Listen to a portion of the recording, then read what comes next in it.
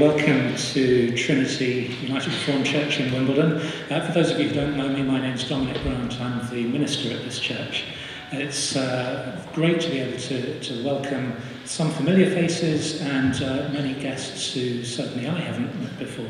Welcome to Trinity and welcome to the London Borough of Merton, the local authority which pioneered what's known as the Merton Rule, a planning policy adopted in 2003 that requires new commercial developments over 1,000 square feet, uh, square meters, I should say, to generate at least 10% of their energy needs on site from renewable energy sources. That's a great forward-thinking stride for environmental responsibility. Merton's record uh, perhaps is, is not quite so uniformly optimistic uh, as that Merton rule might indicate, as uh, it's interesting to find through a Freedom of Information request that in terms of uh, Merton Council's pension fund, uh, they're not necessarily one of the greenest pension funds around, but uh, some progress made, other progress perhaps still to be made.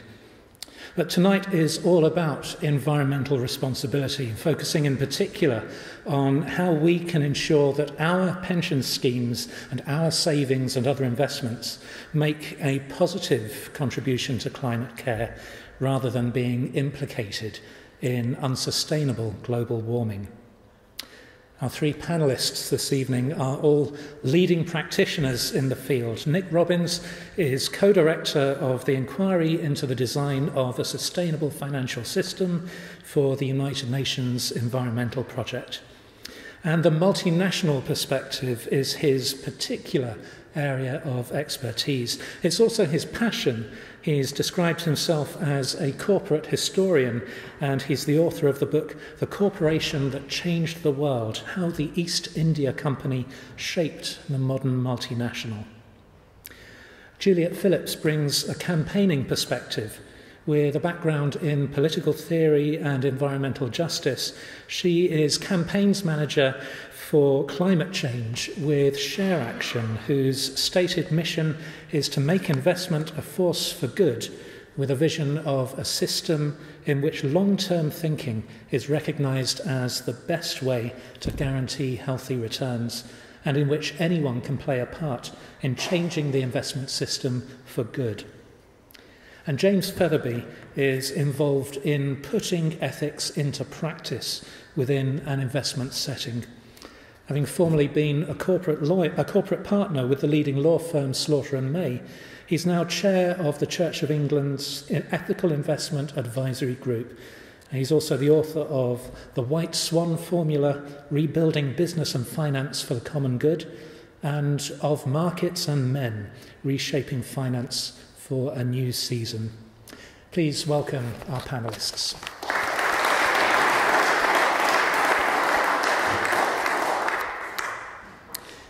Here's how we will proceed this evening. We'll hear first from Nick, then from Juliet, and then from James. And after each of them has spoken, the other two will be given a brief opportunity to comment on what we've heard. And then, after all three have spoken, we'll open it up for comments and questions from the floor before we finish at 9:30 p.m. But just to set the scene, uh, I'm very pleased to be able to welcome here this evening uh, the Right Reverend Dr. Richard Cheetham, who is the Anglican Bishop of Kingston in the Diocese of Southwark, where he is lead bishop with responsibility for the environment, and he's also a member of the Church of England's National Environment Working Group. And so uh, Richard has very kindly uh, agreed to be here and offered to say just a few words of encouragement to us all. Bishop Richard.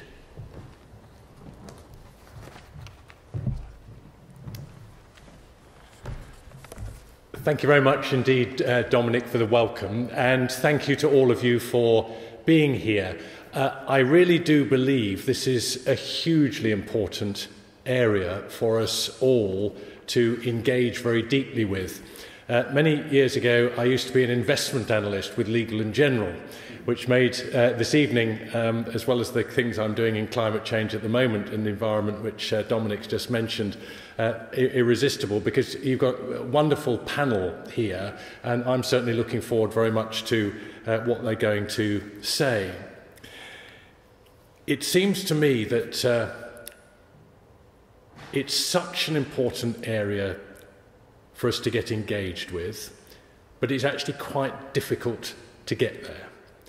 And one of the challenges for me is how to get the very good thinking into the main bloodstream of our society and our church. One of the talks that I give is entitled Your Gospel is Too Small, uh, echoing a book some of you may know by J.B. Phillips uh, about Bible translation, which said, Your God is too small. And the idea is that our environmental concern is not just a matter for a few people on the fringe, it is absolutely fundamental and flows out of the core understandings of the Christian gospel, our responsibility uh, for the climate, for the environment, for one another, intergenerational responsibility, and all those things. So that's the sort of wellspring from which things flow uh, for me. But the real challenge is how to get it really systemically mainstream. And that's one of the challenges I've set myself uh, in the Diocese of Southwark. Uh, uh, we have a jolly good policy, uh, but getting it embedded is the task of quite a few uh, years, I think. Similarly, in the Church of England nationally, and I'm sure in all of our churches. But much more widely, and of course we're going to have that represented in the panel this evening, which is, which is wonderful, uh, getting it embedded in our financial systems, our economic systems, our political systems, and so forth. And that's the challenge. And I think what it takes to do it is groups of people, meetings like this, time and time again, working away to a goal which is absolutely hugely important. So I'm very much looking forward to what uh, the panellists are going to say. Very grateful to Dominic and the team here who've put all this together. I mean, fantastic job to put this together.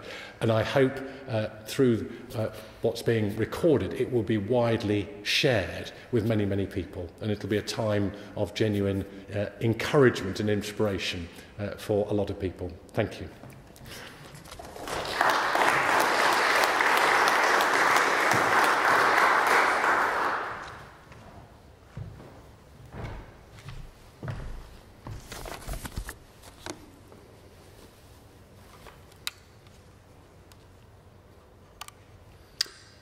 Thank you very much, Dominic. Um, it's great to be here. Thanks to the organisers. I know Mark Smith and Alban Thurston put in a huge amount of effort uh, to make this, uh, make this happen. Uh, I'm a Wimbledon resident. Uh, I'm currently working for uh, the United Nations Environment uh, Programme, really thinking, as, as Bishop Richard was saying, about how we bring the financial system in, in line with issues around sustainable development, issues of poverty elimination, and, and issues of climate change. So we work with central banks like the Bank of England, with, with the Treasury here to think about uh, rules. I'll be speaking here as a uh, Wimbledon resident, just in terms of my background. I started working in the city in the year 2000, uh, working in fund management, so managing uh, people's ISAs, uh, maybe insurance contracts, people's pensions, um, and, and really climate change was part of that. We published what was called the first carbon footprint of investment fund about 10 years ago, so trying to measure how many emissions were associated with, with our, our portfolio and trying to reduce those. Uh, I then, for my sins, uh, went to work for HSBC, uh, where I uh, led their climate change work. And after seven years, I realized that HSBC did not stand for Hong Kong and Shanghai Banking Corporation, but it stands for How Simple Became Complex. Um, so I hope today we can take this very complex subject uh, and not make it simplistic, but I think all uh, sort of empower all of us to think what we can do uh, as individuals, as individual uh, uh, people with insurance uh, contracts, maybe for a house or whatever, uh, with pensions, with ISAs, with, with bank accounts, with members of, of communities like, such as churches, and also local citizens uh, of Merton who have investments themselves, and what is the, our role in shaping uh, those investment uh, policies. So I briefly want to look at the international scene, um, and then I think uh, we'll have Juliet and James really looking at some of the detail of what's happening here in the UK. And hopefully just answer sort of three questions. Uh, firstly, why is climate change a serious investment issue now? Um, what is happening uh, about it? Uh, and what's next? So really trying to answer those uh, three, three questions. What I'd like to do is start really last December in Paris the governments of the world came together and agreed this Paris Agreement on climate change. Uh, we've had negotiations for years and years on climate change, but this was the first universal agreement. All countries of the world, almost, uh, almost all countries of the world, came forward with their own plans, and the agreement uh, said that we need to uh, stop emissions of carbon dioxide going into the upper atmosphere, causing climate change, and we need to, we need to hold those temperature warming, which will be the result of that, to about two degrees. We're, we're on course for one uh, degree already. What is very interesting about that agreement is the first climate change agreement which explicitly says the goal is to make financial flows consistent with a low carbon future and a climate resilient future. Resilience meaning making sure that people are protected from the impacts of climate change, flooding, sea level rise, droughts, floods, etc., particularly obviously in developing countries who are most exposed to these risks and have had least at least contribution to making um, them happen. So at the heart of the Paris Agreement, this great international uh, agreement, is, the, is this goal of making financial flows consistent, so relevant very much to what we're doing today.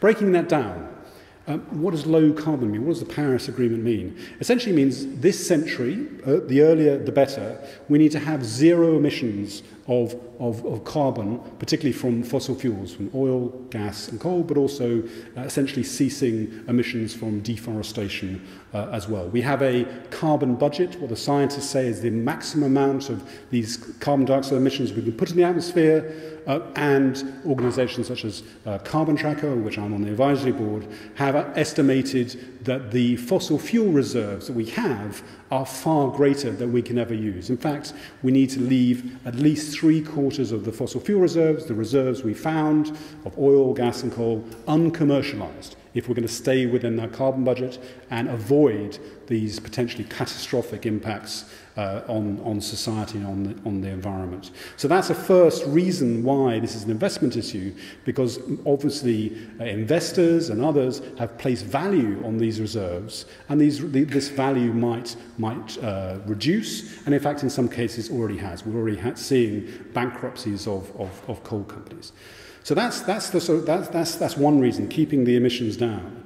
Uh, but also, if we leave the emissions un, un, unchecked, then clearly we are going to see increasing impacts, the exacerbation of, of extreme uh, weather events. Uh, and the Economist Intelligence Unit has identified that perhaps around $43 trillion, a huge sum, could be at risk if we leave emissions unchecked. So again, from an investor point of view, if you're a long-term investor, you're thinking about your, your pension, um, you're, a, you're a, particularly a church which is really has no end in sight, hopefully, in terms of your investment, you need to be very careful about these, uh, the, the, these risks. So that's, that's, that's what we need to do to, to shift uh, on the carbon side. On the resilience side, um, as I say, um, we're seeing increasing, uh, increasing risks Um, insurance companies are increasingly uh, bearing that. Uh, and again, if we don't uh, keep emissions in check, uh, then in many ways the insurance business model uh, will, will cease uh, to be functional. Most insurance companies now realize that unless we keep climate change under control, we're not going to essentially have an insurance sector. So that's, in a sense, the broad area of, of why. We need to drive down emissions. We're going to need to have to leave most of the fossil fuels, which previously we thought were valuable, in the ground.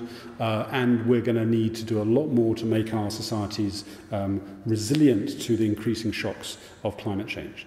So three, I think, maybe conclusions from that. First, this is now a serious issue of risk and return. That's what investors look at day in, day out, how to generate returns for their clients, for people like us, um, and how to manage risk and return. This is now a serious issue of risk and return, and I think it's giving a redefinition of what it means to be prudent, what it means to be prudent in terms of thinking about new factors in the investment world.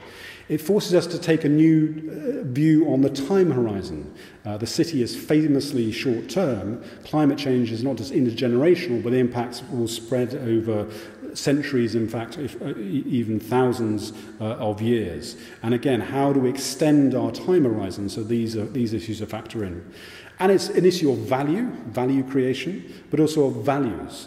Of, of individual values and how those can be expressed through our financial uh, transactions, how the values of organizations such as churches can be expressed uh, through their, their investments, and how the, the, those values uh, for, uh, and respect for future generations, and in fact for creation as a whole, can be uh, put at the heart of the financial system. So that's sort of the why, why this is now a serious issue. In terms of the what, what we see uh, happening, a number of aspects which I'm sure Juliet and James will elaborate and go into much more detail. First is, is the press, pressure to decarbonize investments, to take carbon out of uh, investments. A number of initiatives, uh, we at uh, UNEP have launched a portfolio decarbonization initiative to, to constantly reduce the amounts of emissions coming from pension funds uh, around the world. There's a pressure uh, for um, uh, investors to also divest, to actually sell their holdings in coal, oil and gas. I think now uh, the mainstream view uh, is that holding coal is not only a very damaging prospect for the environment, but also is, is, is, uh, makes no sense whatsoever um, from uh, an economic perspective. Very interesting last year, AXA, a big French insurance company, a shareholder-owned company, they sold sold all their coal assets. So a very interesting signal. This is not a fringe uh, issue anymore. Uh, in the UK, uh, another London authority, Waltham Forest, they've decided to actually divest of all their uh, fossil fuel assets uh, as well. So a reallocation process uh, underway. Alongside that, there's a reallocation towards green assets, towards the investments uh, we need to make in terms of renewable energy, energy efficiency, uh, public transport, uh, and, and so on. And one of the things that is very exciting at the moment is how countries such as China are really taking a lead. Clearly, China faces many serious local environmental issues.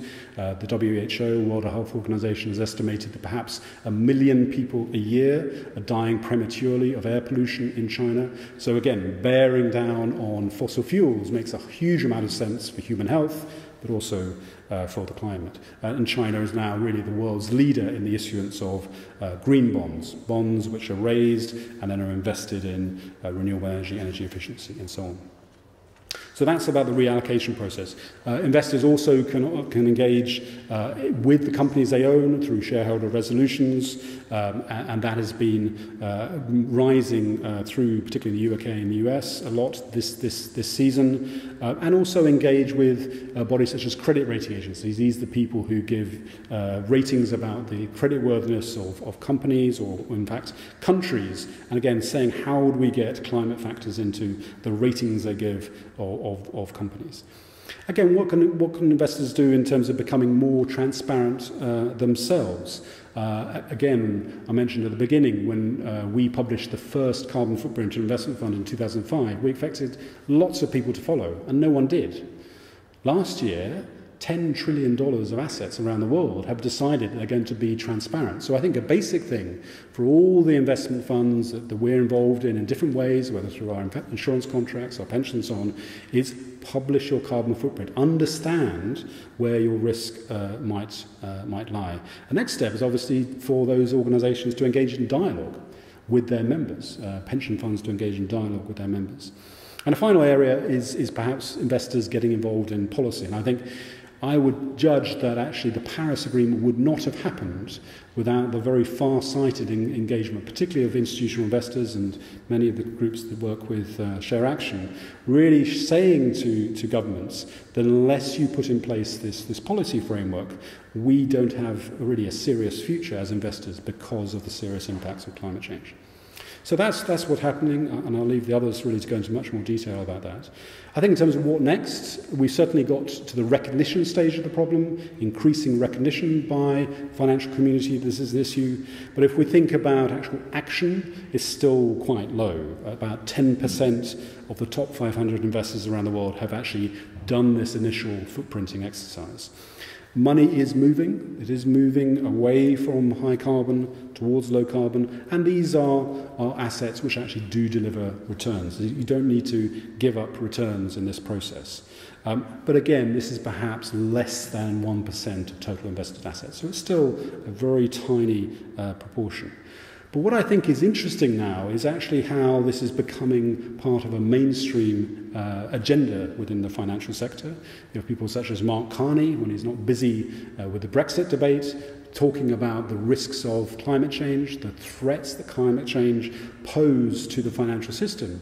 But very interestingly, in a speech last week, really saying how green finance can not only contribute to financial stability because actually you're reducing the risks of, uh, of, of runaway climate change, but also can help uh, stimulate the type of economic recovery and development that so many countries in the world uh, need at this stage. So I think we're in a very hopeful phase, uh, but we're still really only the beginning in turning, turning from as a commitment uh, into action. Thank you very much.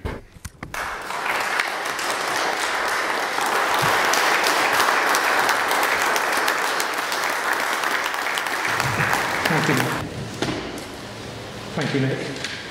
Handheld mic? Lovely, thank you, Nick. Um, I'm going to give uh, Juliet and James uh, the opportunity to pick up on anything that uh, Nick has said uh, before we move on to. Thanks. Well, thanks for the very useful uh, scene setting there. It was good to hear many of Share Action's recommendations to pension funds mentioned in your uh, presentation. So we also recommend that um, pension funds like Western Cole and they're engaging with the policy framework. Think it's very interesting to hear that you were very, very much ahead of the curve and um, where you were 10 years ago is now where uh, pension funds are only just beginning to get to the stage of. So there's a real need, even though they're just beginning to take baby steps, to really accelerate from measurement to actual management of these risks. I mean, something else really interesting, um, which I think comes up a lot when people are talking about climate change, is the need to redefine um, how people think about the investment system, particularly in terms of long-term versus short-termism. So, for example, BP and Shell, they consider a three-year incentive plan, sorry, a long-term incentive plan to be just three years. And obviously, when you're considering things like climate risk, that just does not um, capture the full risk horizon. And the same is seen all throughout the investment chain. So um, you see quarterly reporting and things like this incentivizing very short-term focus on profits, and there is a concern that without those more structural changes, it will be hard to get to change the kind of uh, mindset of investors to really consider longer term ESG struggles. Um, so yeah, were the, the key points that I picked up on. Shall I pass the mic over? Thanks very much. Yeah, I'd just like to observe um, how necessary it is in order to produce real change to make sure that we have a financial system that is um, where, where the economic drivers in the system are helping the cause rather than hindering it. And that is going to take um, some big changes. Um, and I, actually, I have a question for you, Nick. I mean, where are we now on carbon pricing? Uh, Carbon pricing is, is a sort of, I suppose, a, a key policy. I mean, the economists call uh, climate change a market failure because the costs of pollution uh, are not priced in the goods um, that, uh, we buy. Uh, and so we can price carbon through taxes, um, and so actually through road taxes in the UK, which are quite high carbon prices, but the gas we, we use in our houses isn't taxed at all. So it's, it's, it's often quite random in, in, in many ways. But what is happening, I think, is increasingly uh, countries are realizing that if you do need to introduce taxes, then carbon taxes are actually a pretty sensible to do. Uh, you're seeing actually increasing uh, numbers of developing countries introducing taxes, uh, carbon taxes. So India has a carbon pricing system. Uh, it's small, but it's actually much more uh, entrenched than, say, the United States, which has very little. Uh, and you're seeing increasing numbers of so-called carbon trading schemes where uh, permits, uh, limits to pollute are, are, are handed out or sold to businesses. We have one in the European Union, China is introducing one uh, next year, some US states have, and so on. So I think it's becoming um, more uh, broadly based, um, and, and I think it's, it's seen as a, as a necessary part of that, that, that, that area. Because again, unless things are going to be priced, there's going to be limited incentive for investors to shift their, their capital.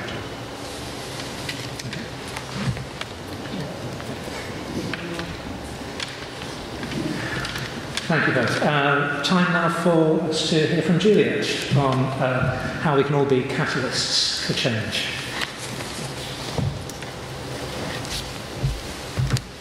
Thanks. I'll see if I can get my PowerPoint presentation up and running. This. Okay. Great. And thanks, Nick, for the very useful scene setting. Um, my name is Juliet Phillips. I'm Campaigns Manager at Share Action. I joined Share Action two years ago to help with the filing of shareholder resolutions on climate risk at BP and Shell. Um, during my time at Share Action, I've worked on a number of different campaigns, including factory farming, corporate lobbying, responsible tax, and of course, climate change. So I'm going to begin by just giving a brief overview of Share Action for those in the room who aren't aware of our organisation. Then I'll outline Share Action's work to date engaging with pension funds on climate risk, laying out some of the key challenges and how they might be overcome. Next, I'll move on to talk about Share Action's work to change corporate behaviour using shareholder activism and investor engagement, overviewing some of our work to date and considering this in the broader context of discussions about divestment. And then finally, I'll wrap up by offering a few practical ways that you can get involved using your investments, no matter how small or large, in order to help catalyse the low carbon transition. So, Share Action is a charity promoting responsible investment. Our um, vision is of an investment system which is truly sustainable, considering the long term impacts of investment decisions on the environment and society. Um, we um, started off 10 years ago out of a campaign run by the organisation People and Planet, um, looking at the USS pension scheme, which is for university pension funds, and asking them to take a more ethical approach to investment. Over the years, we made a name for ourselves by ranking pension funds on their responsible investment policies and renamed ourselves from Fair Pensions to Share Action to reflect the broader um, aspects of the chain of investment which we now work with. Our theory of change is made up of three different aspects. The first is building a movement for responsible investment. Our mission is obviously much bigger than our capacity allows, so we need to get lots of people involved in making these changes happen. A good example of this is our AGM Army movement.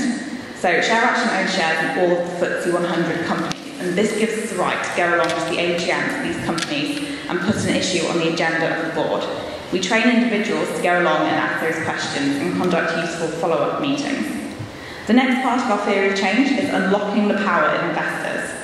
Investors can harness their power to, through things like shareholder activism and investor engagement to encourage companies to change their behaviour. A recent example is with our living wage campaign. When we started this, only three companies in the FTSE 100 paid the living wage, and now there's 30 following shareholder activism and investor signed letters. The final part of our theory of change is reforming the rules, governance, and incentives inside the investment system so this looks at things like fiduciary duty and redefining how the investment system is engaging with legislators.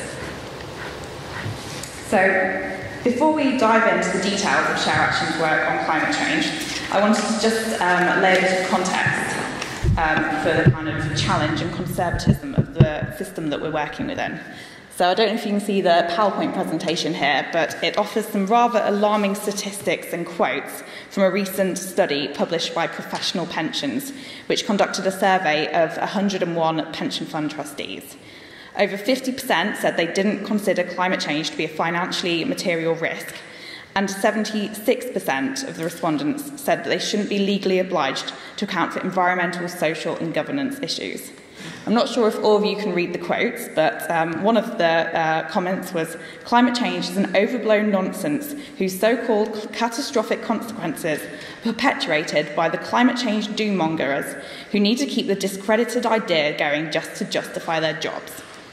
So, while there are some leaders in the space, such as the Environment, uh, Environment Agency Pension Fund, who are aligning their investment portfolio with a two degree limit in temperature rises, these are far outweighed by the number of laggards. This sets some context to the scale of the challenge that Share Action set ourselves in 2013 when we published our Greenlight report, which sets out recommendations for climate aligned pension funds. The first step on the journey is for pension funds to measure and disclose their exposure to climate risk, putting this into a comprehensive strategy to deal with the implications. Truth be told, many pension funds are still yet to take this first step. The second recommendation for pension funds is to engage with high carbon sectors on the changes needed to ensure they're aligning for a, high, for a low carbon business model. In the case of the fossil fuel sectors, pension funds need to ensure that capital isn't being allocated to high cost, high carbon projects unneeded in a two degree world. Over the years, Share Action has been alerting investors to the risks associated with projects including tar sands and Arctic oil. More recently, attention has turned to BP's Frontier project in the Great Australian Bight. The third recommendation is for pension funds to divest from thermal coal. As we heard from Nick, there is no climate or investment case for investing in this, these companies, and to date, firms worth $2.6 trillion have pledged to quit coal. The next of our asks is to set targets to divert capital from high carbon to low carbon investments. The Swedish pension fund AP4 is a clear leader in this space, stating it will allocate 21.8% of its global equity portfolio to low carbon investments. The final shareholder uh, um, Greenlight recommendation looks at the policy influence of pension funds. It encourages funds to engage with regulators in support of a policy landscape supportive of the low carbon transition. Greenlight's recommendations are still very relevant today. Following COP21, there should be extra emphasis on ensuring that investment strategies are consistent with sub 2 degree limits in temperature rises. It's fair to say there is still an uphill battle in getting pension funds to accept and act upon the material implications of climate change. Nonetheless, given what's at stake, we have to keep pushing. Share Action has identified a, key, a few key levers, which I'm going to run through now, where we think that change can be activated. The first is member meetings, and here we have um, a picture of some people meeting with their pension funds and demanding to um, put their issues on the table to be debated. There's no quick wins here, but we found it an effective way of getting the conversation started and presenting arguments in favour of considering climate change as a material risk. The next issue is legal challenges. Trustees of pension schemes have a legal obligation called a fiduciary duty to act in the best interests of members. These are often interpreted very narrowly, prioritising short term financial returns over the longer term financial risks that climate change poses. Share Action is currently working with environmental lawyers, Client Earth, to challenge these conceptions. Another issue I thought I would touch upon is board diversity, or lack thereof. Despite industry efforts, the investment system remains dominated by white middle class men, often of a similar background and generally conservative to social and environmental concerns. Not saying that every um, person in that description fits that, but um, it is a true fact across the industry. And tackling this has been identified by some as an inroad for getting climate change and other social concerns onto the agenda. I'm now going to move on to talk about Share Action's work to catalyse the low carbon transition through shareholder activism and investor engagement with companies. There are a few key tools we could use to help catalyse these behavioural changes. The first are shareholder resolutions. In the UK, these become legally binding as 75% of investors vote in support of the resolutions. However, it's quite hard to get them filed. You either need 100 shareholders in the company or shareholders with um, a total uh, voting rights of 5% of the company, which is very high hurdle. Shareholder resolutions two, in 2009 at BP and Shell were unsuccessful in um, getting the companies to disclose more information about tar sands. However, they did help raise the issue of this controversial project amongst the investment community. In 2015, Share Action worked with the Aiming for A coalition in helping coordinate filings of shareholder resolutions at BP and Shell once again. With the backing of management, these were passed with nearly 99% of the vote. This year, we've supported resolutions at Exxon and Chevron, calling on the companies to disclose to shareholders their resilience to business models under low carbon demand scenarios. Another tool is AGM interventions. With just one share in a company, you can go along to an AGM and catapult the issue onto the board's agenda. In fact, I own one share in BP and Shell for this purpose, and uh, this photo is actually me having a chat with the chairman of BP about um, the Great Australian Bight Project. of course, it's much more powerful when companies hear these concerns from institutional investors and pension funds rather than myself. Given that investors generally have better access to meet with companies than regular shareholders, it sends a strong signal to the companies if investors choose to raise the concern at the AGM in this more public setting. Once again, this isn't about instant wins, but it's about instigating the follow up dialogue, which can help lead to useful discussions.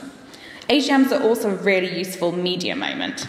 So, for example, at, um, the, at the BP AGM this year, we drew attention to the Great Australian Bight Project by um, working with Sea Shepherd to put a huge inflatable whale on the lawn of outside and asked an array of questions in, by shareholders inside the hall to challenge the economic sense of this project.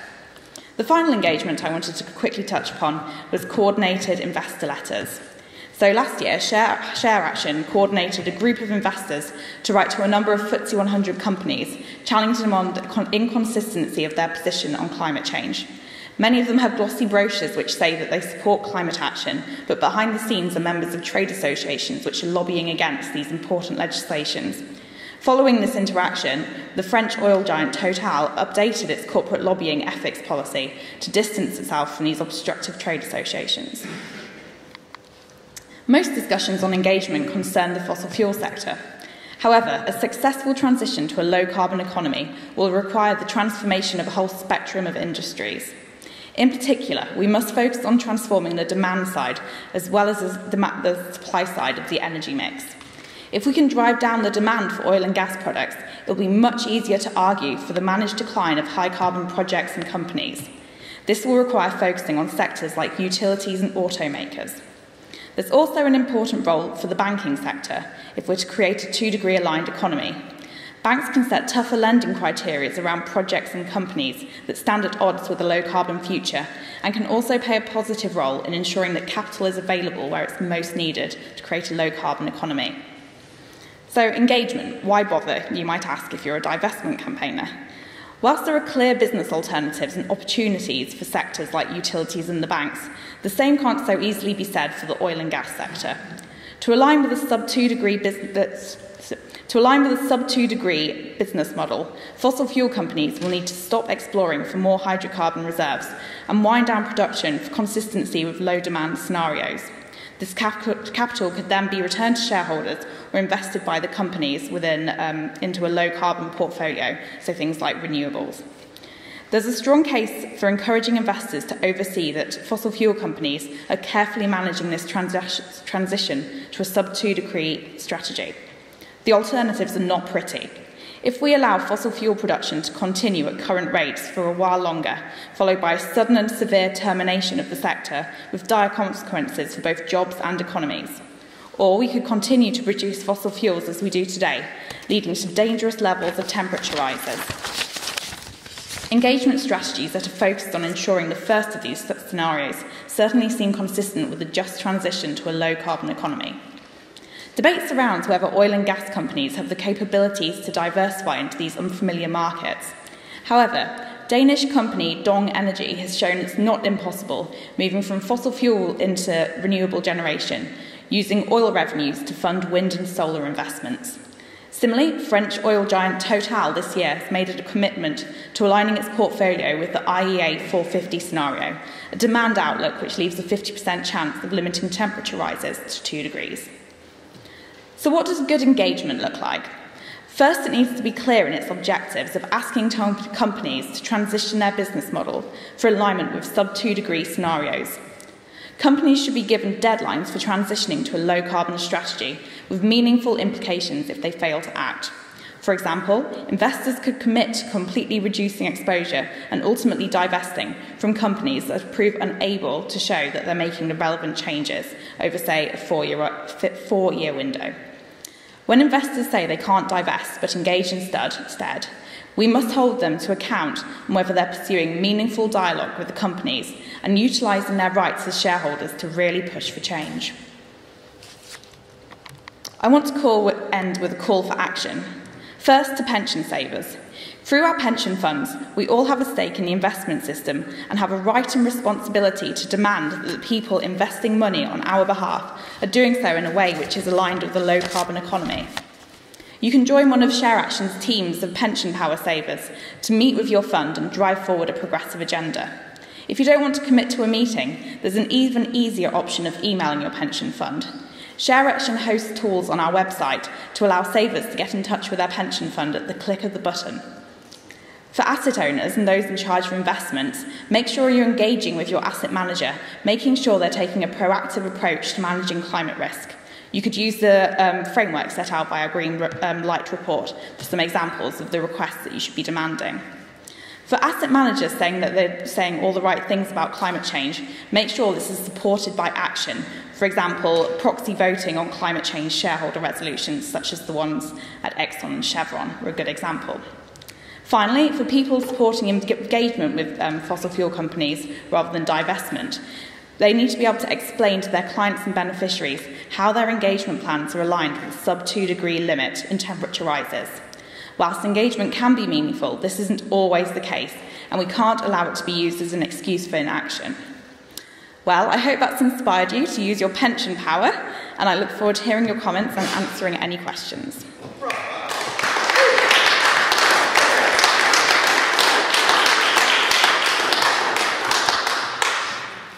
Thanks very much, Bruno. And once again, uh, an opportunity for the other two panellists just to uh, come back with any immediate comments.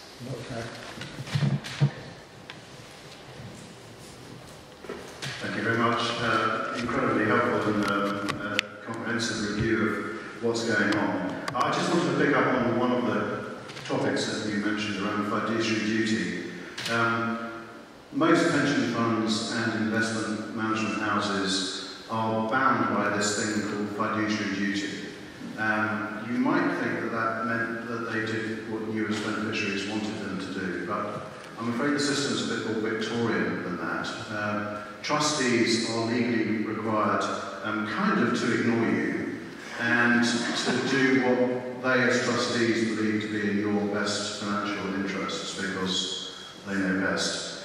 Um, this is a very odd situation. Um, and a lot of people have been arguing around this topic. Um, the Law Commission fairly recently did actually come forward and say that trustees um, are free, don't have to, but they are free to take environmental, social and governance issues into account insofar as they are financially material. Uh, some people still think that is not good enough, and I know uh, ShareAction doing a fantastic job on uh, further work on democratising this kind of discussion. Um, one of the other issues related to that uh, I wanted to pick up on is, is even if trustees want to take these issues into account, why they're they not doing so? And one of the reasons is that the, um, there's just a skills gap. Most pension funds are uh, advised by a very small number of investment consultants they, they might have lots of asset managers who are actually managing the money, but they're, they're advised by a very small group of investment consultants, um, mostly actuaries, and I do love actuaries, this is not a data actuaries. Um, but they just don't have the expertise or the um, interest in drilling down to the level of detail that we're now talking about. Um, they spend their time talking about asset allocation. In other words, should you be invested in gilts or Japanese equities or emerging markets or US treasuries? They operate at that kind of helicopter level. Um, I've been to many uh, trustee meetings and almost never are people talking about uh, individual companies, what individual companies are doing and their individual impact on society and the environment. You might think that's a harsh conclusion, but historically, until we hit the uh, climate change debate, historically, um, what's happening in one company is irrelevant in terms of a portfolio of many billions of pounds. And therefore, these issues have never surfaced at the kind of level that they need now to be servicing that. So um, I think we still have more work to do on uh, developing our understanding of fiduciary duty, and I think we still have a large skills gap that we need to plug.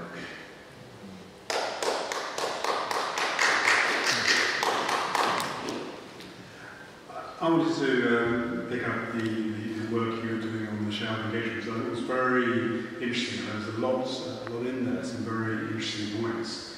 Firstly, that we now have this, this global agreement that we need to keep tensionised below two degrees. And I think all the work we were suggesting in the shareholder resolutions to ask these companies to put forward sort of the, the explanation about how they would uh, profit and generate returns uh, for their shareholders in that two-degree world, the so-called two-degree stress tests.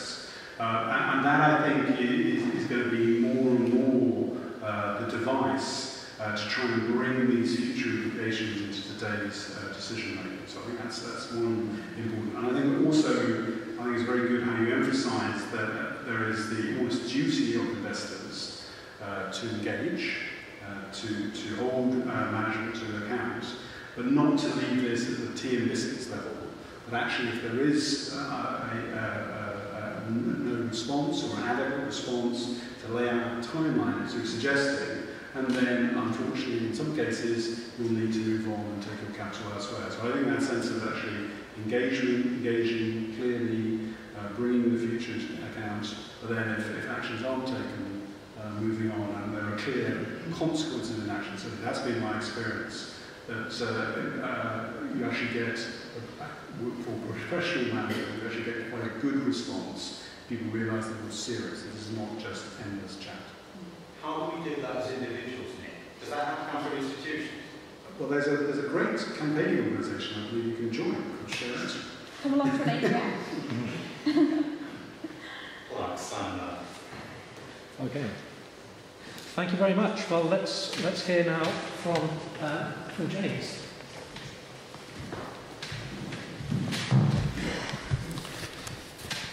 Well, I chair this rather strange uh, group called the Church of England's Ethical Investment Advisory Group. And what I want to try and do this evening is just give a brief perspective from um, the viewpoint of an institutional investor who is committed to being a responsible and ethical investor. Just a, a little bit of background. Um, the Church of England uh, has three things called national investing bodies, or NIBs uh, the Church Commissioners, a pensions board, and then some other funds that are managed by CCLA. And together they have assets under management, I think, of around about 10 uh, billion pounds. Now, I chair the EIAG, uh, and that gives Christian ethical advice. But we only advise. Uh, it's the NIBs, the investing bodies, who decide in the end what policies they want to adopt and how to implement them. So we operate at a kind of strategic level. Uh, the individual company by company ethical decisions uh, are taken by the investing bodies. Also, we don't give uh, financial advice. Um, so, although we're fully aware of uh, things like the stranded assets discussion, uh, we don't express a view on it. Now, we had a, an environmental policy for quite some time, but we uh, began a much more focused discussion uh, around climate um, around 2013. And we ended up developing a policy which was adopted by the investing bodies in 2015. And I, I thought it might just be helpful to uh, uh, explain some of the phases, the three phases we went through in developing that policy. Uh, first of all, um, as we always do, we reflected in depth on the biblical and theological position and on the church's traditional teaching. The second phase was evidential. Uh, we spoke to a lot of scientists and experts to find out what they said, um, but we also spoke to those who are most directly affected by the issues that we are discussing. And then, thirdly, um, a kind of pragmatic uh, phase. In an imperfect world, what is the best ethical response for us as investing bodies of the Church of England, who have a particular ability to act and speak both as part of the witness and mission of the Church, uh, but also as significant institutional investors? And all of this is within that context that I was explaining just now of being uh, under fiduciary duty uh, having to get the best realistic financial return for beneficiaries. The church, as an investor, is of course a charity, and that gives us a little bit more room to take into account ethical considerations uh, than some other investors. Well, through this process, we, we certainly learned the truth of that maxim that I'm sure you know for every complex problem, there's an answer that is clear and simple and wrong. um, we reached six clear, uh, conclusions, uh, and this is what shaped the way that our policy developed. Uh, first of all, we concluded that climate change and poverty alleviation were both key priorities, and it's not helpful to try and prioritise one over the other. They're both deeply interconnected, as indeed everything is connected. The connections are spiritual as well as social, uh, economic as well as technical. So we thought it was important that we uh, didn't make sustainable development impossible for the hundreds of millions who still have inadequate access to energy. The second conclusion uh, was that the urgent task was an orderly transition to a low carbon economy. And here I want to emphasize the word transition. Ethics involves starting from where you are, even if you have a great aspiration. And as part of this, the Church of England's investing bodies decided to make a very public commitment that they wanted to be at the forefront of institutional investors working for that transition. The third conclusion was that we should divest from energy companies substantially uh, committed to the most polluting fuels, coal and tar sands, uh, because it's not really realistic to think that they will make that transition. The fourth conclusion was that the right ethical approach for the investing bodies was to engage with major fossil fuel producers, high energy users, and policymakers but to do that with a clear option, as we've heard earlier this evening, clear option to divest in due course if companies are not uh, sufficiently responsive to the need for transition. Now, we're keen to emphasise that this is uh, not the only right ethical response. Uh, different actors in society, as always, have different and varying roles to play. But we concluded that we did have a role, uh, uh, a kind of combined role as both the church and as an institutional investor. And in fact, we concluded that it was our ethical duty to try and stay invested and use that voice rather than walk away from that opportunity. Our fifth conclusion was that our policy needed to be flexible. We needed to have a clear sense of uh, direction of travel but we needed a policy that was flexible enough to allow us to work with other like minded investors who might see things similarly but differently, but also flexible enough to be responsive to changes on the ground, such as the development of international benchmarks, which it would then be great for us to work alongside. And if I could say something here just about um, engagement rather than uh, divestment, uh, we are shortly going to be launching a transition pathway initiative that we are hopeful is going to make a significant contribution to the dialogue between investors and business. And this initiative is going to involve a tool that will enable us to analyse both industry sectors and specific companies against set criteria on a consistent and objective basis. And it will enable the investing bodies to assess whether individual companies are committed to making this trans- transition and the specific progress that they're making. We've developed this tool with uh, the LSE and with the Environmental uh, Agency Pension Fund, and we're hoping that a, a broad range of other institutional investors are also going to join the initiative. Now, I mentioned six conclusions. Um, the sixth one was actually put rather neatly by Pope Francis, uh, referring to all of us he said in his 2015 encyclical The problem is that we still lack the culture needed to confront the crisis. There can be no renewal of our relationship with nature without a renewal of humanity itself. And this takes me to my final point. What can each of us do?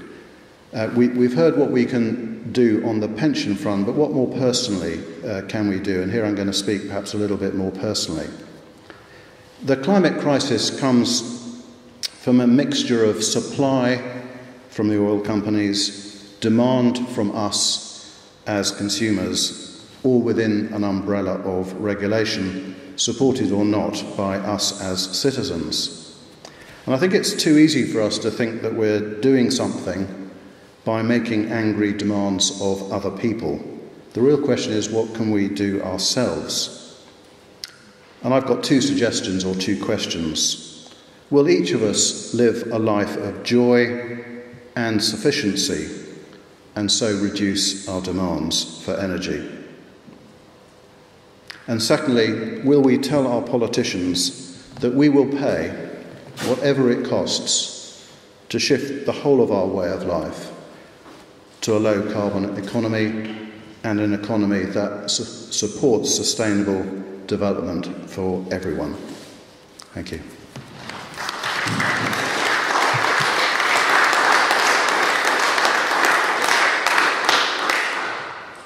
Thank you very much, James. Thanks, James. That was really good. Um, Share Action's obviously a big supporter of the Church of England's work, and we think compared to a lot of pension funds we, we work with, you're very much far ahead of the curve. That's. Um, again, very much line with your positional engagement, and uh, wish you the best with the uh, Transition Pathway Initiative, and hope that we can also help to push more investors into using that tool. I suppose there's always questions about what the timelines are for engagement, and particularly when you have a company like Exxon and Chevron who are slightly less um, conducive to a, uh, a discussion than, say, Total or even BP and Shell. So I would be interested to know if you do have that kind of um, um, timeline in mind, whether it's kind of not in the public domain. I'm going to give you an answer which may not be terribly satisfactory, but um, our experience of engaging with companies over many years on these kind of issues is that it's not helpful to make the discussion public whilst you're having the discussion, because then it kind of it raises the level of heat to uh, an extent in which it becomes impossible to have kind of meaningful conversations with people. Um, all I can say is I know the investing bodies are deadly serious about this. Um, they recognise that some companies are probably never going to make the transition, uh, whereas other ones will. But to kind of announce in advance, um, you know, what, what hand of poker you're holding is, is not, we think, the best negotiating tactic. So um, we will make it up as we go along, as we see the, um, you know, the, the response that is given. And often these things take, take longer than one might hope. What we have found, though, on many, many occasions on engaging with companies is, of course, this debate is already going on with the company. They're, they're not immune to this debate. And what we find is that um, hopefully we can arm that part of the company that is asking for change. And we do that um, partly as an ethical investor, but also as a long-term investor, saying this matters to us not only in relation to this particular investment, but as we look at our portfolio as a whole, um, whether it's banks or, um, or energy companies, um, you are in danger of um, endangering the whole of our portfolio, and that's why we take this so seriously. Thank you very much, James. I mean, for me, I think just one, one observation and actually a question.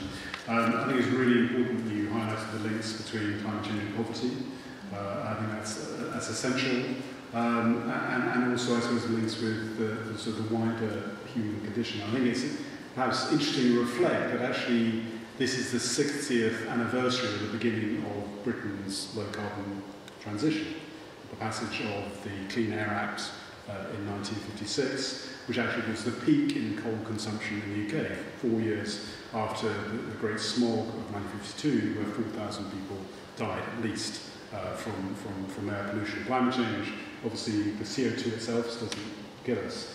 Uh, but that process of, transition has led to huge human health impacts, benefits in the UK, but as we know many, many communities are still scarred by a disorderly uh, transition away from uh, fossil fuels in the UK. So the importance of really thinking through, I use the word just transition. Uh, my question actually would be what impacts you've had in the wider uh, church faith uh, communities. I mean, you, you're guiding, advising funds of 10 billion, I think you were saying. But I think there are often a number of church communities, uh, maybe sort of other faith groups or community groups which might have small amounts of investment. I think you made a point, often people don't have capacity. What, what, what are sort of lessons or guidance for those, those groups, maybe here or others, to actually, what steps can they take uh, to follow some of the leadership can share? Well, to misuse your rather hackneyed phrase, we're better together. Um, so the more that we can um, do this with others, and, and you can do it with others, the better. There are, there are lots of initiatives around. Share Action is a fantastic one. If, if you're representing a, a church investment pool or a charitable investment pool, um, there's a thing called the Church Investors Group that you can uh, join, or, or if you find the whole process of managing your money just too exhausting, uh, you know, there are investment funds out there who will manage your money in accordance with um, the Church of England's investment policy, so you can get other people to do the work for you. So there are, there are lots of options, but um, always best to do things with others.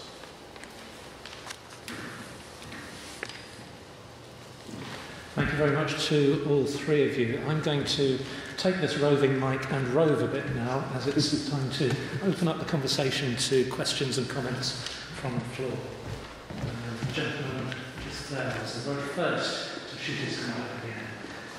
Really quick. Absolutely. Would you like to, to uh, just tell us who you I'm, I'm Stephen Cobb. I'm involved in a investment campaign focused on the Surrey Pension Fund, which is a £2.8 billion fund. We're encouraging them to divest from obviously all their carbon assets. I'm, I'm hugely respectful of everyone and uh, lots of positive things have come out. I want to come back on the point of engagement as a policy because it doesn't work. I'm, I'm throwing that spank the works. We've been engaging, or people have been engaging oil, oil and fossil fuel companies for 25, 30 years with, with little or nothing to show it. And I, and I appreciate and respect the comments from everyone here. But I can tell you, we had two black books here, and we wrote up on one of them the benefits, the projects that have been stopped because we persuaded oil and gas companies to, to uh, finish with fossil fuel harvesting, or the projects that have started and been curtailed. Take that list and we look at another one on the line with all the with all the advancement of oil and gas companies, what exploration they're doing, they're going into Africa, they're going everywhere. All that stuff far, far outweigh anything that's been engaged through engagement, anything that's been achieved through engagement. Absolutely. So whilst I know that's a very negative comment, it's only I'm only making that because I think really and truly the focus has got to be getting money out. Of it, it's in society. You start taking your money out of things and things change. And that's almost exclusively the only way to change things in this society. I do respect the, the, the comments you were making about you know, changing the financial system. And I know that's negative, but I'd just like to come back on that with respect.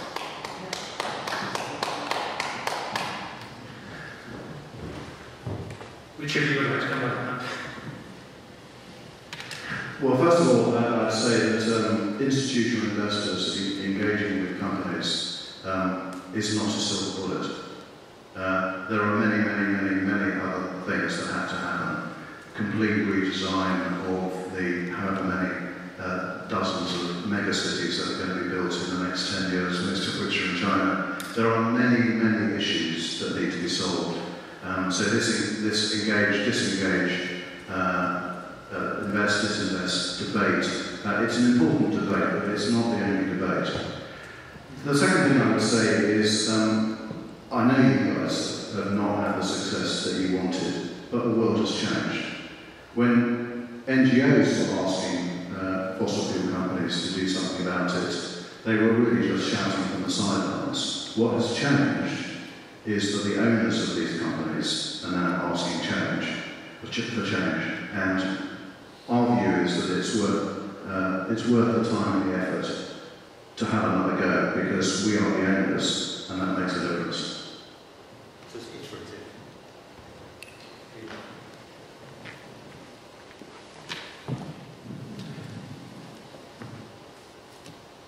Yes, Yeah, I guess so. I mean, I completely respect the divestment movement. I think it's done some really important work. Um, I think when we consider what the kind of aims of the uh, divestment movement are to kind of delegitimise the social licence of the fossil fuel companies, there's been amazing progress there and also just push, pushing the issue on the agenda. So before pension funds didn't hear from anything from their members, now suddenly they have to develop some kind of strategy around climate change and what they're doing about their portfolio holdings for oil and gas. So I'm completely not against divestment and I do think there's a strong case for divestment where engagement is shown to fail. Um, I guess one of my concerns is that even if you know quite a lot of people do divest, these companies are still going to exist and they're still going to be out there exploring fossil fuel reserves and um, you know flowing more barrels of oil into the economy. So I think there is a role for a few responsible investors to kind of stay involved in the dialogue and keep at least causing some concerns the companies because otherwise they're going to be unpoliced if we don't see the kind of legislative changes from policymakers. Um, from my experience, I've just been reallocating money. I haven't been engaged in investments, which is why I was a bit quiet. But um, uh, I think the important thing is to link engagement with, with action and a realistic uh, signal to companies that actual um, capital will be reallocated. That's been much my experience. Uh, you can engage with companies at a certain point. I think there's a respect that actually if, you, if management is not giving you a reliable, trustworthy response, you have a duty to, to, to move your money. So I think engagement on its own uh, is, I would say, is, not going to be uh, sufficient. to be backed with a real uh, commitment to reallocate capital, because that's what we need to do. Either the companies reallocate capital internally to new uh, projects, as you say, to Total, or Energy, or they need to reallocate the capital back to the owners who can then uh, reallocate sort of things. But that is the, that's the key.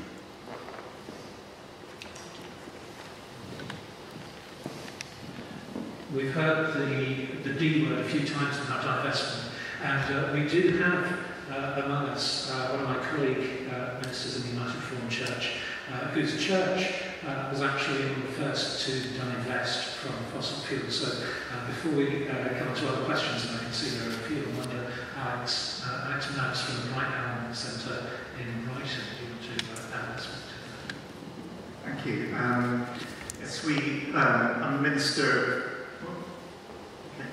Um, Church and Community Centre in Brighton, Brighton. In 2014, we divested um, from oil. We had some holding in the oil company, and we sold that. We later sold um, some other mining shares, and bit by bit, I think we're almost there.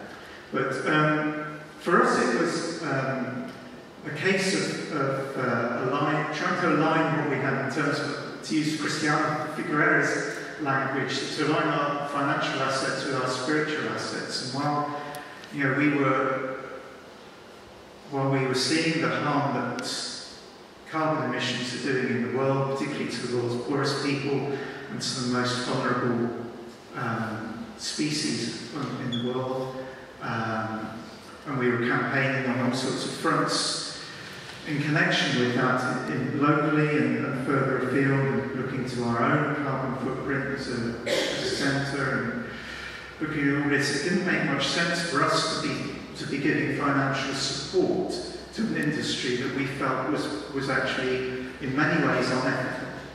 And we didn't want to be lending them our money, in essence, by owning their capital. So for us it was a case of, of making that ethical decision um, to withdraw and, uh, and put money to better use. I wondered whether you felt there was an ethical case for divestment particularly in the light of the withdrawal of government support for the renewable industry that we've seen this last year, whether there is a case for institutions to pour out money uh, from the oil industry anyway, regardless of what could be gained through engagement, and to put that money just into supporting the development as rapidly as we can of renewable alternatives.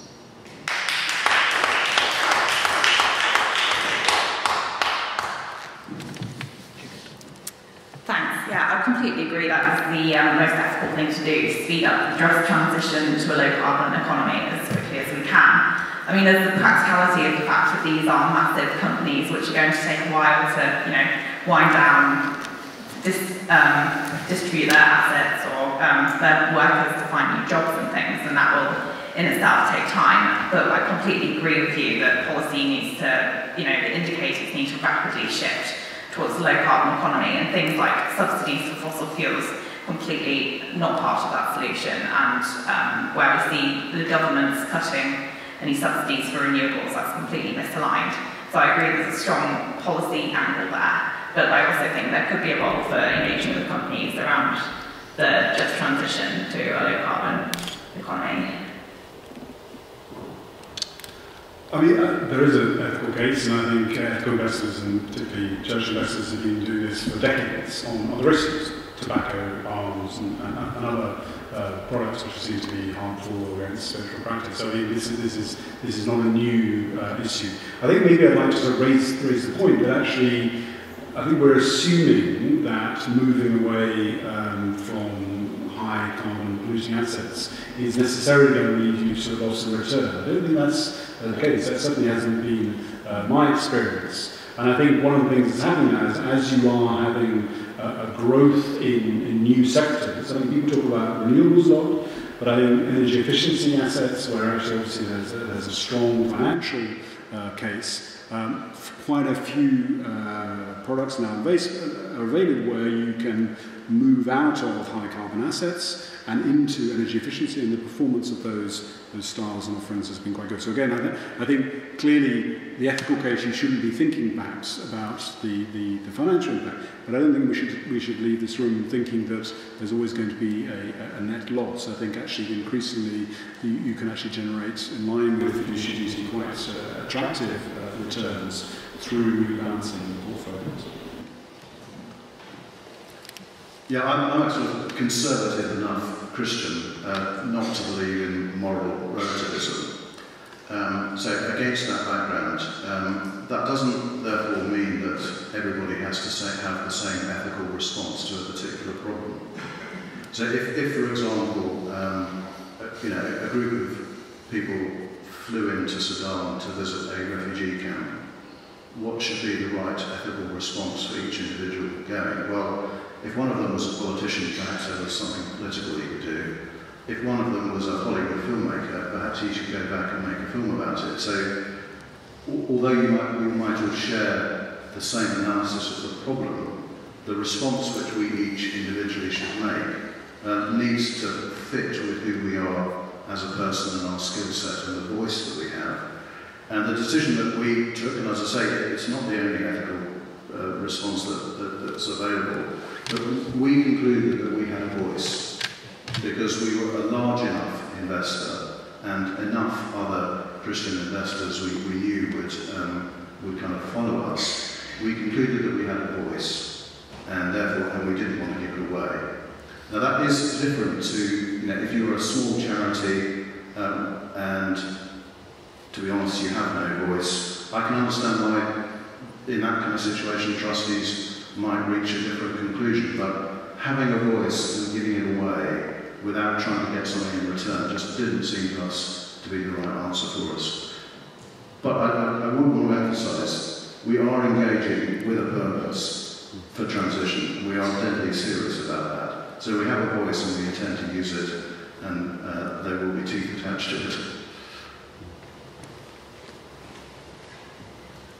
Thank you. Just uh, attempting to interpret some of that, I'm sensing that there may be uh, a tension between uh, the ethical impetus towards divestment on the one hand and the strategic or pragmatic impetus uh, towards staying invested and thus having a platform from which to engage.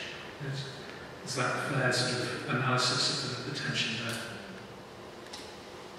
I, I would say, certainly in our, in our case, we, we, we believe that the response we're making is an ethical response. So um, to call it pragmatic, if by that you mean compromised, I would disagree.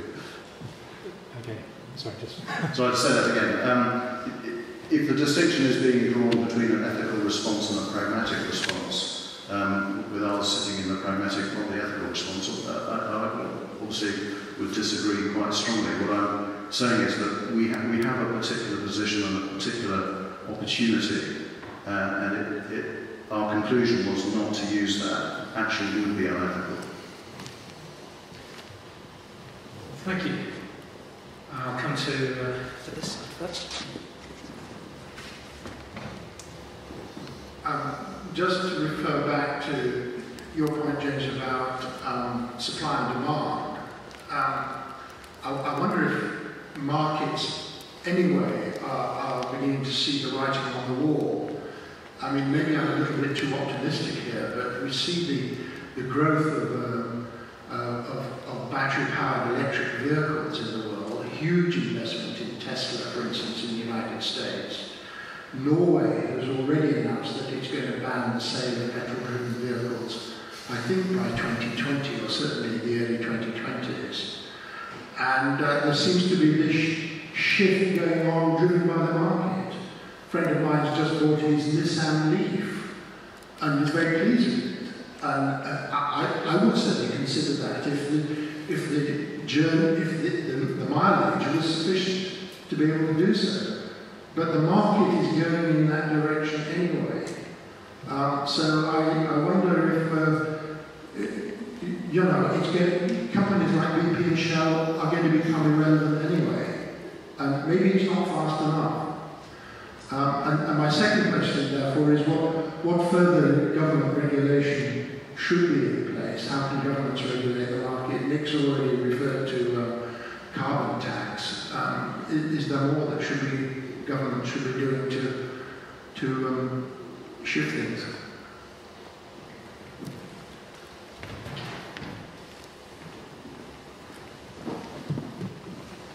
Yeah, that, you're absolutely right. The, the, real change here happens when the economics supports um, the situation that you're trying to achieve. And uh, clearly, demand and regulation are two very, very key factors in making that happen. Um, and I mean, whilst it's, it's, it's great for us to make the ethical case, um, money speaks, and the financial case is, is always going to carry uh, more, rate, more weight, at least in our current cultural climate, uh, sad but true. Um, in terms of regulation, I mean, for me, again, there is no silver bullet, but um, we are not pricing carbon and uh, properly, and we, we need to. And we're conscious of it on something, so we're conscious of it paying for it on, on cars or, or aeroplane tickets. Um, but we're not conscious of it when we're buying a whole host of other consumer goods uh, where the cost of carbon has been externalised to somebody else and we're not paying it. Which is why I made that comment about will we as consumers support our politicians as they bring in carbon tax, even though that's going to cost us. And it's going to cost us if we're also going to support sustainable development elsewhere, it's going to cost us more than it's going to cost Africa. Are we prepared to do that? Maybe a couple of reflections. Um, I was very struck uh, this week by the passing of Shimon Peres, the Israeli statesman. And one of his uh, comments was about the tight links between oil and terror and, and the funding of terrorism. And that is the prompt for him for driving the electric, electric vehicle movement is Israel. So I think, again, realizing that climate change is one factor, but there are many, many other reasons why you might want to go down a low carbon pathway. Human health, smog, uh, energy security, certainly, again, I think another example, very interesting. India, the, the Power and Renewables Minister, has announced that they want to move to a fully electric vehicle uh, fleet by 2030. Uh, and again, that, that is a country which actually has huge development needs, huge poverty still, recognizing that that makes sense from a uh, balance of payments, energy security, access uh, to transport, but also pollution and climate change point of view. So I think those, those bringing those things together is, um, is, is, is particularly important. Thanks. I think you um, brought up a really good point about um, the kind of demand destruction that we're seeing for oil and gas products at the moment and how the companies and many of their investors just really aren't quite recognising how quickly the world is changing. I think that that's a really important reason why the kind of talking about how the companies are going to manage that transition and how investors are going to reduce their exposure to fossil fuel companies is very important. There's this analogy of um, investors picking up the pennies as the bulldozer is coming along, and they do need to realise that change is happening. And this Kodak moment where fossil fuel industry just isn't relevant anymore. is probably a lot closer around the corner than many people think. Um, but obviously that's great, and we want to continue destroying demand for fossil fuel um, products. So um, I would just say maybe more focus on engaging with um, energy, sorry, um, the energy uh, suppliers, so um, utilities and automakers is a really good focus for shareholder activism going forward to push them into renewables and electric vehicles, getting big companies like Volkswagen to continue producing more electric vehicles and putting research and development funding into those areas is a really good focus for investors. And you can also say, you know, we can't engage, maybe there's no point us engaging with all the sectors because there isn't capacity or whatever, but there may be some key focus sectors would be the ones on the demand side.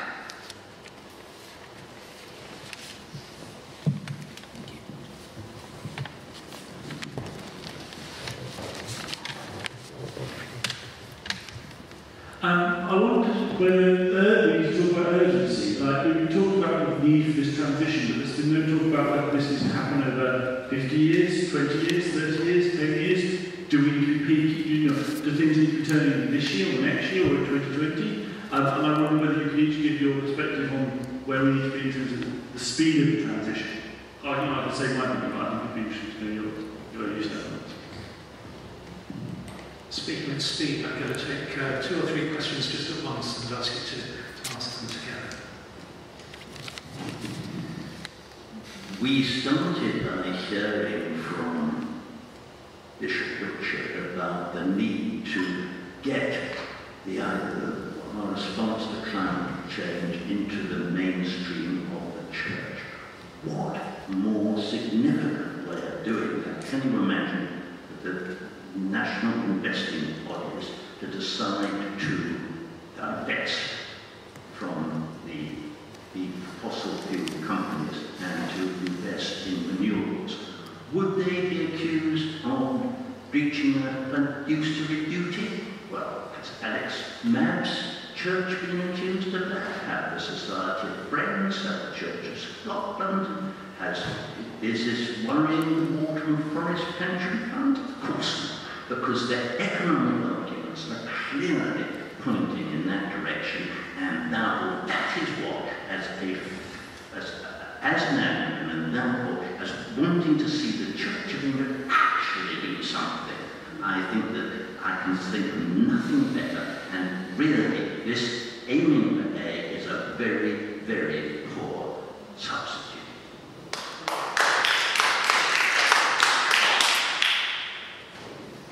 Give you the opportunity to come back on, on those two questions. well, I think the second was more of a statement, no question. Um, on, on the first point, we will be led by the science. So that's why we have a flexible policy. We will watch what the science says, and that will set the, the speed at which we respond. Sorry? What do you think the science says? What, what are you seeing we get from science at the moment in terms of speed? That it's urgent. 10 years? 50 years? Well, what do you, I mean, no, no to be honest, no one really knows, do they? But we, we all know it's urgent. We need to achieve peak uh, greenhouse gas emissions this decade, and we need to bring them down to zero um, by 2050, hopefully, but certainly the, by the end of this, this, this, this century. Now, those, again, a lot of these, these urgency points are based on probabilities. Um, and, and, and one of the things that a lot of the models are using is, is these low carbon pathways, but often they're based on a 50-50 chance of achieving the target. Now, we wouldn't get on a bus if it only had a 50-50 chance of arriving safely at the destination. So I think the question is, is, is about our tolerance for risk. Um, so other people have been choosing two-thirds probability of achieving it, and actually if we are really serious, we might want to achieve much nearer to, to, to 80%, which obviously means that our carbon budget becomes much smaller, and the time we have becomes much, much less. Um, so I think there is, there is a huge urgency, um, particularly in terms of deployment of renewables. We need to uh, put in about a trillion dollars a year, uh, and we need to take out about $500 billion a year from, from fossil fuels. So it's very, very, it is very serious. But this year, this decade is peaking global emissions and coming down as quickly as possible to zero and potentially below, because we've got to suck carbon out of the, out of the atmosphere, which we still don't quite know how to do. Yes, to repeat, I'm not a climate scientist either, but uh, the latest reports that I've been reading suggest that we do need to fully decarbonise by mid-century if we are to stay within the two-degree carbon budget, and um, need the, the peak emissions does need to take place by around 2020 if we are to limit temperature rises to under two degrees.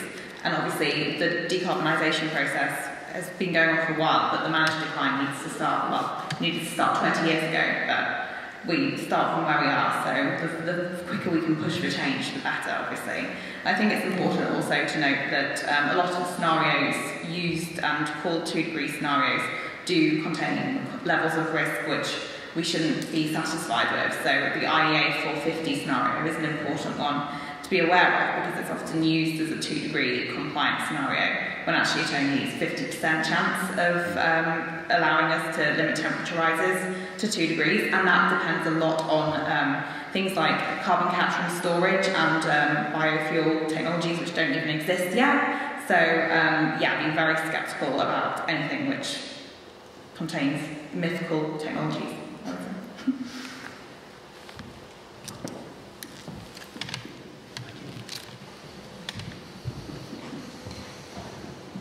Um, Paul Thurston, sorry, and uh, I've also to speak. Um, as we prepare to step out um, tonight, um, what if introduce panel gives a concluding thought on an action which members here, individually of this audience, could take, whether it's joining um, some of the excellent um, uh, you know, share action uh, groups or whatever from a spiritual perspective, from a governmental perspective, what are the actions you would, you know, you would recommend that we as individuals take? Okay, so I'll give the panelists just a moment to, uh, to concoct their one individual action, take-home message each, and while I'm thinking about it,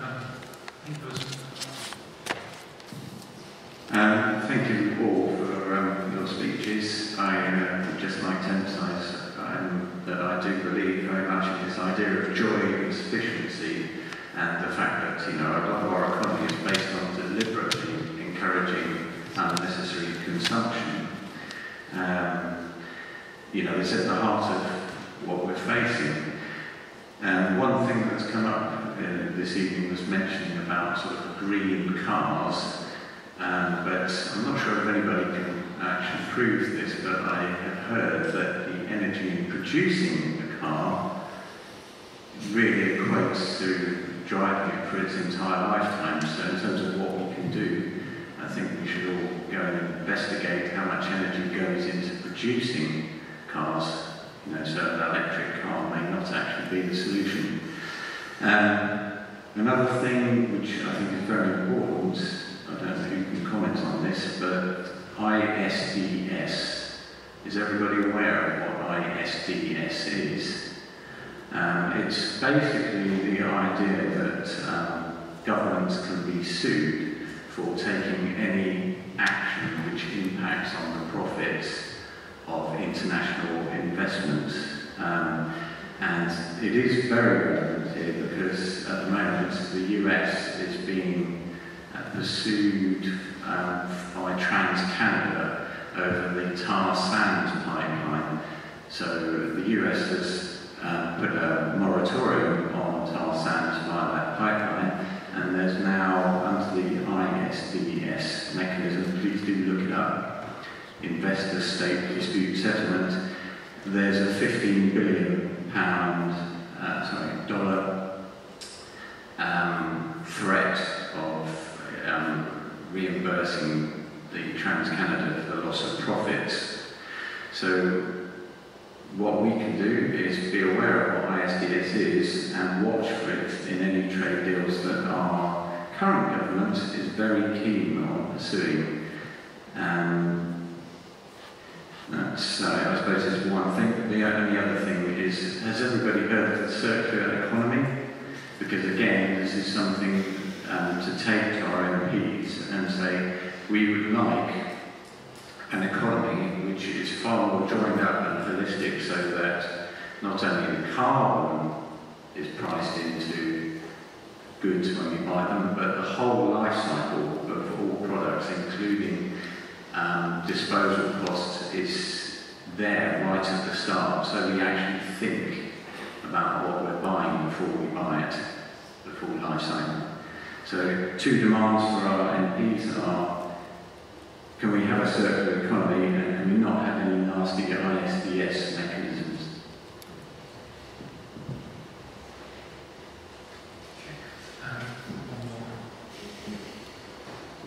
Thank you. This is one for Nick. Actually, might have touched on it earlier and I sort of just missed the answer. Um, I used to work in derivatives, though not energy derivatives. And there used to be something called carbon emission derivatives, whereby um, one country, or the country has a percentage, say 100%, it hasn't used up all of its allocation, it's got 75%, and it can sell off the 25% to anybody else it wants to. Um, these things are fraught with misuse, but have we not that particular one on the head yet? I think we have a nod of the head from Nick to answer that question that has been looked at. If we, we hear the uh, points that have been raised about uh, ISDS, um, circular economy, and the query over the um, energy involved in the manufacture of uh, particularly electric uh, vehicles. Uh, and then you've got a little while panelists to think about your, your succinct take-home message uh, what each of us can do as, uh, as an action going forward from here. So uh, I think that covers all that we've just heard and will be a good way to, to round off our panelists' contributions. Do you want to talk about the derivatives? Uh, so I think what you're talking about is an extension of this, this notion of carbon pricing, exchange James raised earlier, which is this uh, cap and trade system uh, whereby that actually companies are allocated permits and you can, you can trade those. And internationally, uh, the, the primary mechanism before Paris was a carbon offsetting uh, scheme. Uh, it's, it, it's really come, uh, come a cropper really for two reasons. One, there, was quite a lot of fraud involved, and secondly, actually, there was, there was insufficient demand. It still could, can work, uh, but there are a lot of methodological issues which make it quite, quite hard. Um, so I think it's, it's, it's, it's resting uh, at, uh, at the moment. Um, in terms of uh, TTIP, uh, the Transatlantic Trade Investment uh, Partnership, uh, I always thought it would be good to actually ch change that into a transatlantic transition investment partnership. So there's a great opportunity there. And our European colleagues, certainly in France, have been very much clearly link linking uh, the, uh, the, the, the, the provisions you've mentioned with, uh, with, uh, with climate change. Uh, circular economy is very important. I think, again, is, is, is important for us to recognise and we need to link these things together. The studies I've seen is if we pursue action on climate change, simultaneously with action on circular economy, so we're using materials in a circular way, uh, we achieve more jobs growth more economic benefit. Uh, I'm going to cheat in terms of my, my recommendations. I think all of us, perhaps, who have investments, should be asking the people who manage them, what are you doing about the implementation of the Paris Agreement?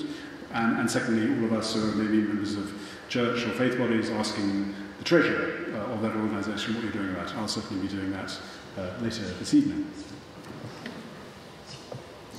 Yeah, I'll just comment on um, what do I suggest you do. Um, I think there is always a temptation to, with these issues and other similar issues um, to have a response which is to ask somebody else to do something. And those, those are good responses. Um, but I think Jesus teaches that real change comes when each of us individually allows God to change our own heart.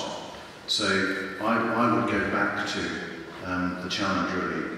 Are, are we going to live with our community of fellow believers or community or street or whatever community you belong to? Are we going to become people and a community of joy and sufficiency? For me, that's the real cultural driver and out of cultural change comes all of the other changes. But joyful with less. Joyful with less. Yes, I'll be joyful with less from now on. Um, I don't have any um, insights into TTIP, but I think one point for um, electric vehicles as well is to be aware that just because the smog's being taken away from the streets doesn't always mean that um, you know we're actually burning less emissions. For example, in China, they've done quite a lot to introduce more electric vehicles into the cities because of the smog problems. But to generate that electricity, they're still burning coal in order to create that um, supply. So I think it's very important that we're very aware that you know something which looks shiny and clean isn't always what it seems. So just to be aware that electric vehicles by themselves are not the solution. Um, then my message for people that's something to do would definitely be to join one of our pension power teams. Because you know there's just so much more power when we work together, when we go and talk to our pension funds collectively and have a really strong list of logical arguments and climate change reasons that they just can't ignore. There's so many pension funds who are still fast asleep at the wheel. They might say that they do things like engagement, but they're not really actually doing that much. And if you can go in and challenge them with people who've got all the arguments behind them and you're equipped with people who are experts in this, it just shows that there's a real demand from clients and that's what's really going to drive the lots of asset owners to actually you know, engage much more with their asset managers about the risks and opportunities associated with low carbon transition.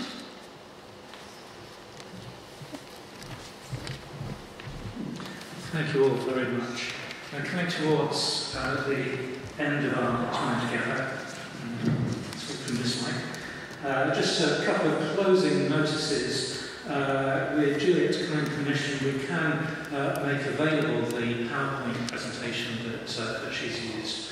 Uh, so if you would uh, like to receive, uh, preferably electronically, I would guess, a, copy of that PowerPoint, uh, do let me know before you, before you go. Um, Orban is saying script as well. but That's, that's yep, that's fine.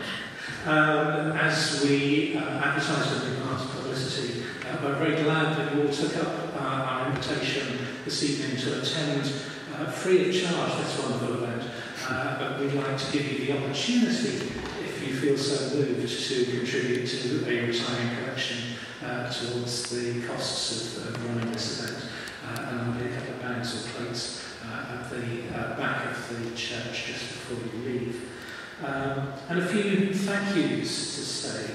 Uh, I'd like to uh, say thank you firstly to uh, Kevin, who you'll have seen uh, wandering around the building carrying all sorts of photographic equipment and tirelessly moving microphones and so on. That is so that we can make uh, this evening's proceedings available in due course via YouTube uh, to, to ensure that it reaches a wider audience and indeed to ensure that if there's anything you didn't quite catch first time around, then in due course you'll be able to, uh, to catch up with it the second time around. So thank you to Kevin. Thank you also to a couple of our church members here, uh, to Alan who's been operating the microphones at the back, and to Katrina who's been live tweeting throughout.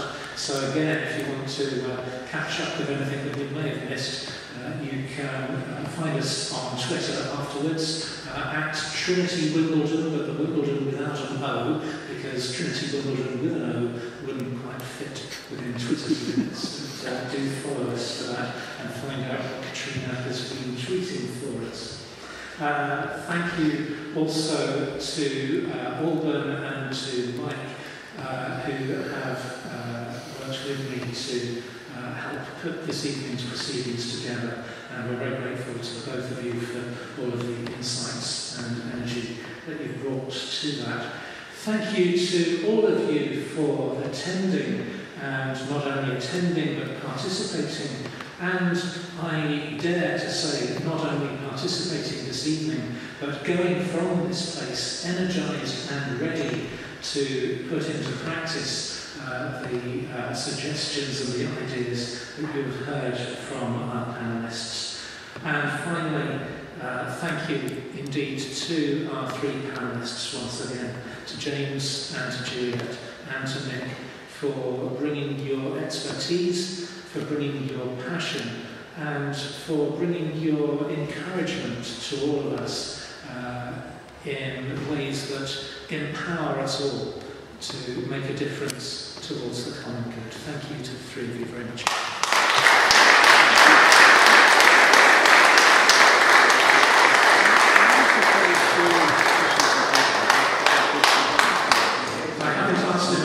to do so, uh, I'm available uh, Bishop Richard just to offer a short closing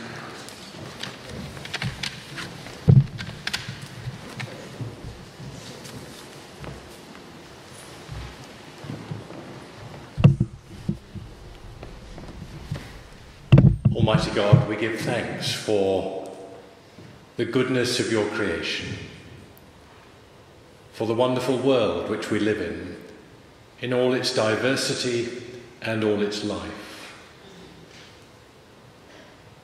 We hold before you the challenges which our planet faces now, our island home. And we pray for a deep conversion of heart within each one of us, within our systems, the way we relate to one another and to our environment. And we pray that you would help each one of us to play our part in bringing about the world that you would have us live in, that all may live that fullness of life, which is your will for all people through Jesus Christ our Lord. Amen. Amen.